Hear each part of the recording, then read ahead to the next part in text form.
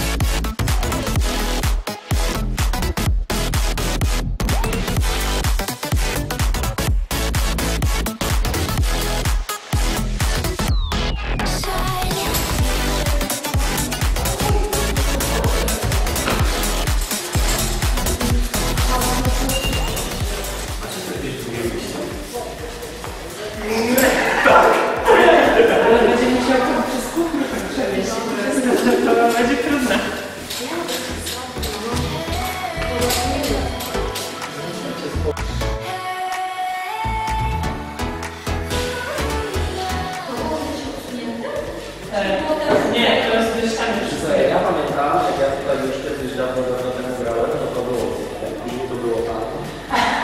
I teraz to znowu jest. Aż to było Ale nie, jest nie przysunięty do ściany.